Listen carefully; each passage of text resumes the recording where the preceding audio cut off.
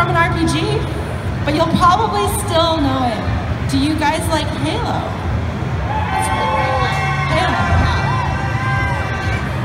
We're gonna do the electric guitar version of the main theme, so that's the Halo. Because we got this guy,